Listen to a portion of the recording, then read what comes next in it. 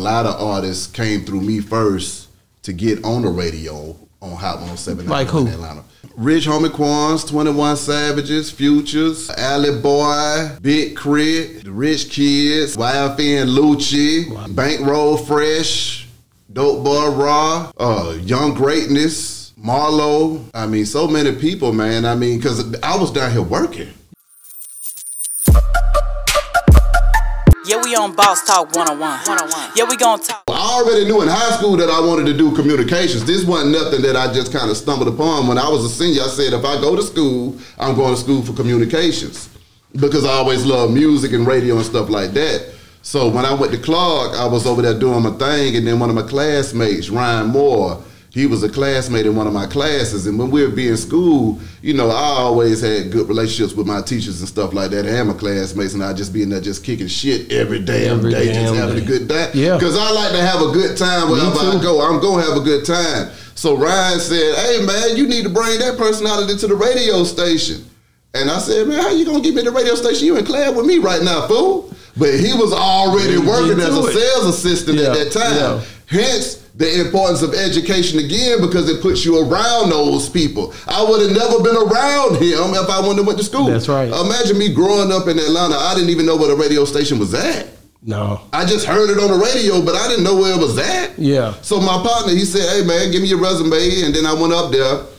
And when I got up there, I became a volunteer. Then I became an intern, and then I finally got ho- uh, hired on as a board operator. After I got hired on as a board op, uh, I was just in that thing working it on out and learning the game as I went. And see, for me, when I came in, I came in off the sweat of my own brow. So Yeah. I didn't have no industry connection saying that he the one or we gonna rock with him and we gonna rock, you know, he's gonna be, you know, the next in line. So for me, I kind of had to play the background and buck the system and just keep on trying until I finally got on the air, which was overnights. And I was overnight. And how long did it take you to get from first step in the door till that?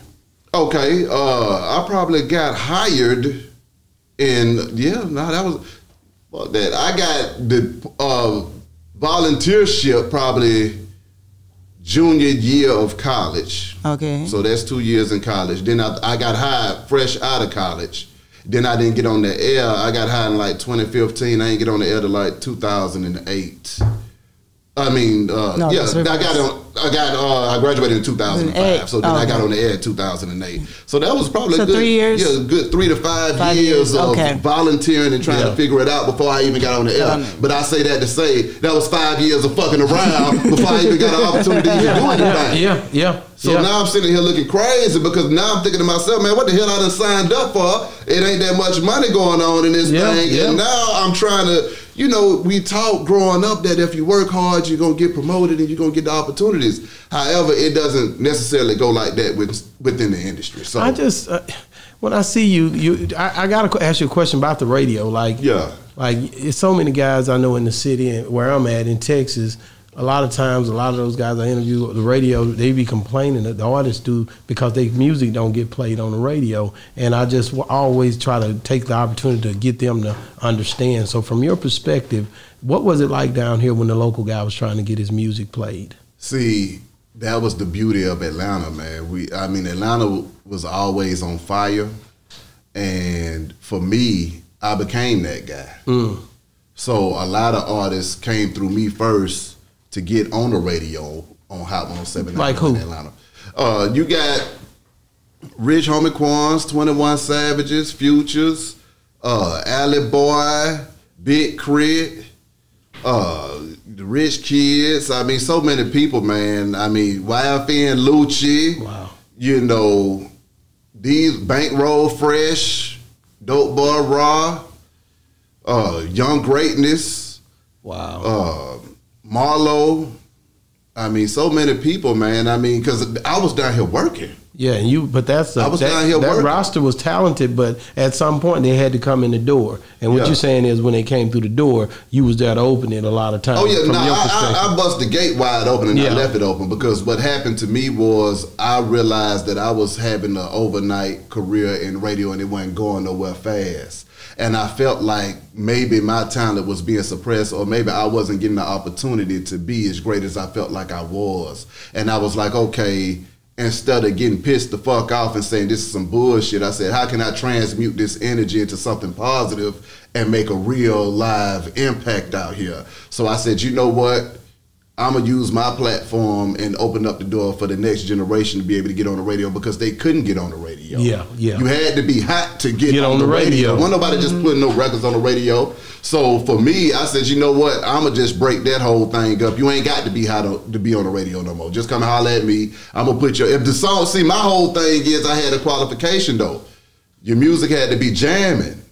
Don't come bringing me no bullshit trying to get on the radio because see now I'm already looking crazy bringing you in here. So then my boss now I'm playing some bullshit on the radio. Then my boss can be like, man, what the fuck are you in there doing? Yeah, yeah, yeah. So at least give me a hit. So when they hear, they're like, okay, he's doing his job.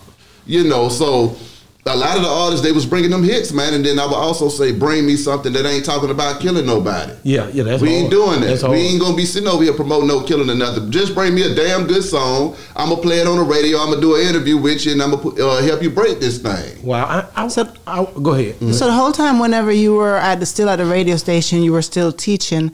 How Mm-hmm. long into the radio station did you decide that I don't want to teach anymore? I'm just going to do radio. Okay, so now And why did you leave? Because you know when you think about teaching, you helping a lot of oh, kids and oh, that- people and stuff like story. that. Both of those kind of coincide with each other at the same time. So after I had been doing radio for about ten years, my old professor, Professor Will, that actually taught me how to do radio at Clark Atlanta, he had left from over there. He was like they needed another teacher, but rewind it back to when I was at Clark Atlanta University, I was thinking about becoming a teacher and majoring in education other mm. than radio because I was thinking to myself, how likely is it going to be for me to get a job in radio? Now, I had a lot of educators in my family as well. So it was like, hell, I know my aunties, some teachers. I can go over here and teach something and keep the party going and stuff like that. That's, you know, I can see that.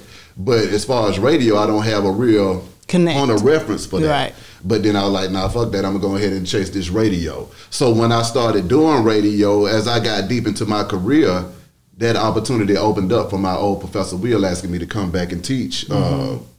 Because that was always gonna be my plan too. I was gonna teach down the line Yeah, anyway. yeah. Mm-hmm. So about ten years in, that's when I started teaching at Clark Atlanta. Teach, uh, and I was over the whole radio department over there. Oh, that's hard. And uh, WSTU, the students over there, I mean, they were awesome, and the students was.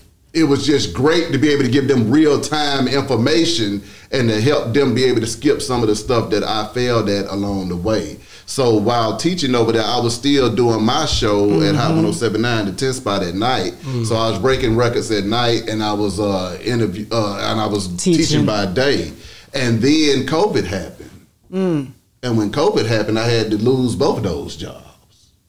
And that's what But Yeah. teaching, you would think you could still go online and teach because everything became virtual at, at COVID for teachers. Well, it was online, but it was still the mandates. It was the mm. mandates that came across. Yeah, you know when yeah. they put out the mandates. Yeah, well, you have to- have to- you know, and see, I don't know what was going on with the companies. of their situations might have been affected during Yeah, that time yeah, by not, you know, implementing the mandates and stuff like that.